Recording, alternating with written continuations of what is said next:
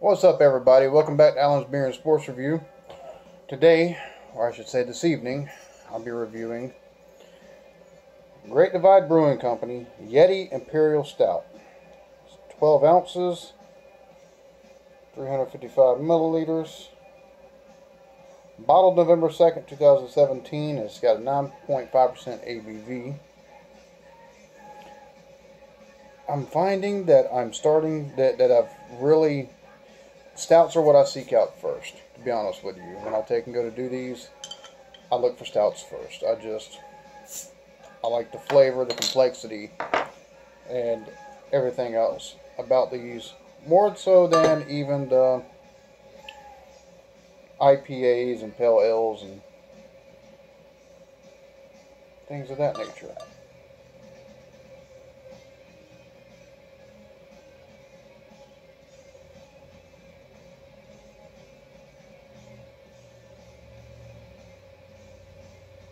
Easy there, Skeeter. Don't be going over now.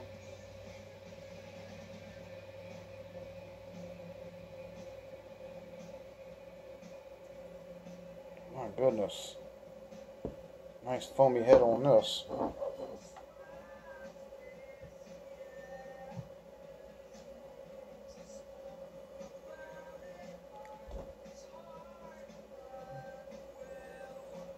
Oh my goodness.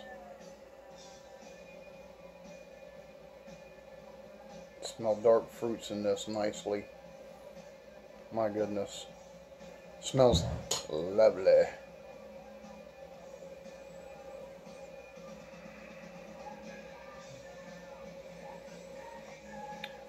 Bit of like a, a, a baker's chocolate on it almost is the, the smell I'm getting off of it as well. It's like a like I said, like a baker's chocolate, like that semi-sweet without the sweetness type chocolate. Um, let's see.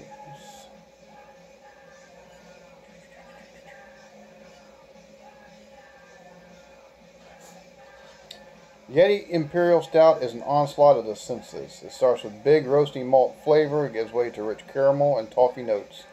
Yeti gets its bold hop character from an enormous quantity of American hops, weighs in at a hefty 75 IBUs. Hmm.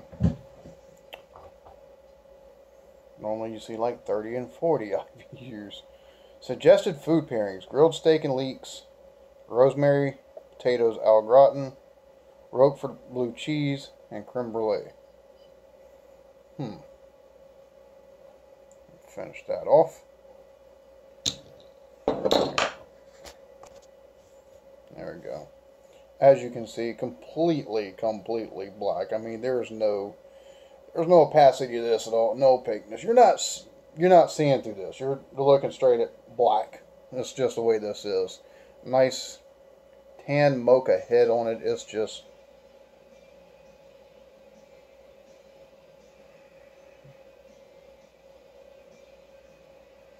smells delightful.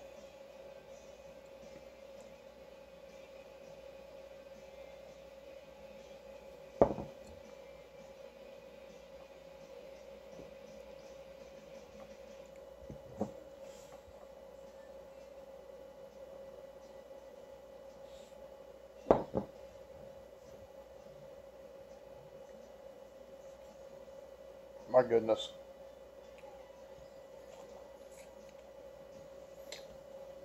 I see the reason why it's got 75 IBUs, but it's on the back end of it, sitting on the tongue. It's very nice, very rich, very bold.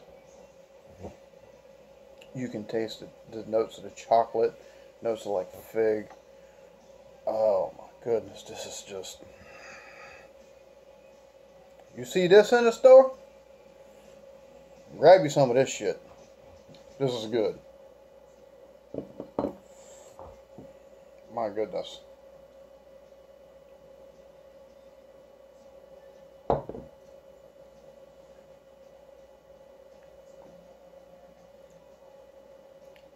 It's got a little bit of a stickiness on the tongue. It doesn't, in front of the tongue, it doesn't linger that long. Might take you a swallow or two It'll linger on, linger on the back end of the tongue a little bit. The stickiness will. However, the flavor is just it's magnificent. I mean, this is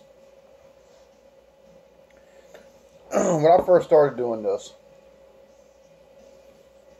It was because I decided, when I first started this channel, it was because I decided to take and get away from just trying Yuengling, Blue Moon, you know, 90 minute IPA, uh, 90 minute IPA from uh, Dogfish Head, as well as Fat Tire. Those those are the beers. That's as far outside of like Bud Light that I would go. Which Blue Moon was my preferred, and I I just I say Bud Light. That's that's what I'll take and go back to because the majority of people where I live, that's what they drink. Although once you get about ten minutes outside of where I live, craft beer is really a lot of people are they're really trying different things. There's a lot of different breweries here in the Charleston, South Carolina area. I live about 45 minutes outside of Charleston in a little podunk place. I mean, literally, everybody here's nice, but it's out in the sticks. Everybody's drink of choice is Bud Light, it seems to be, um, unless it's Budweiser. Still in the same wheelhouse, uh, just a little, little, bit more flavor to it. When I first started doing this channel, was taking it outside of Blue Moon, Yuengling, and you know, Fat Tire was as far off as off the grid as I had gone. Uh, you know, Leinenkugel, I you know tried that. Um, 90 minute IPA, that was as far off like the, the lager type stuff that I had done. And now that I've gotten into, now that I've been doing this channel and Facebook page here for a little bit, I've, I've I'm really I've gotten to the point now that the first thing I look for when I go into a grocery store or to like Bill's Liquor Store, which has has a dedicated section to beer. Um, we've got a beer shop or beer, beer palace in Moncks Corner, 10 minutes up the road from me, but it doesn't have the craft beer selection that this place does. Um, it's got by states like Texas and Massachusetts and Delaware and Maine and things, you know, California, places outside of South Carolina. It also has the local brewery stuff. Well, I'm noticing that the more I go in there and the more that I take and go into like grocery stores with the build your own six pack and things of that nature, the first thing I look for before I look for anything else is a stout. I just I love the robust flavor that 90% of them have on uh, have in them. They're a lot more complex. There's a lot more. It is it, it, in my opinion, it, the, the body and the the way it sits on the tongue and the way and the alcohol content on them. A lot of them are seven and a half, eight and a half, nine and a half, ten and a half, eleven percent alcohol by volume. One of them. That's all I need to drink. Um, now I say that my go-to beer has been started to be Westbrook. I'll take and buy a six pack of that in a week, and then take and add whatever else on top of it for the channel or the uh, YouTube or, or the Facebook page that I'm going to take and do for the week. This this is awesome. This right here is awesome, and this is another example of why I've started to take and actually gravitate more towards the stouts and porters, but especially the stouts. Um, it's just the flavor profile on it. I mean, like I said, you get you get the fig, the, the dark fruit. You get some chocolate. I'm not really tasting a toffee taste uh, so much. Um, it's it, it's more of a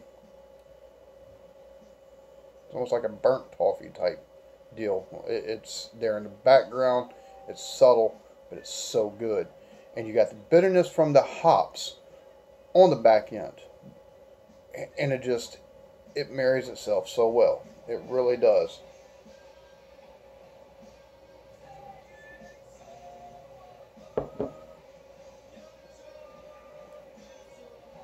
Scale of one to ten, I give this a eight eight point seven five.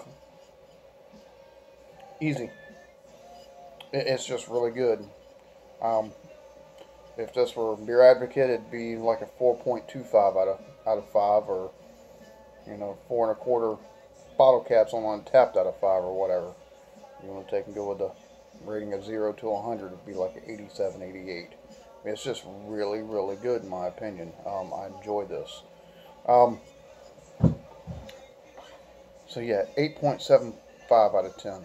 It's just, you see this, Great Divide Brewing, Yeti Imperial Stout, go buy some. I mean, you, it's well worth the purchase. It really is. Um, now I was counting earlier. I was going back through, looking at videos that I'd done that I've done on the channel, and sitting at I was sitting at 45. This video makes 46. So four more videos after uh, after this, and I'll be at 50 total videos for the channel. And so I've got something up my sleeve a little bit special as far as taste wise, or as far as drinking wise, and we'll do for that. That being said, give me a like and subscribe on YouTube, like and share on Facebook. Peace out.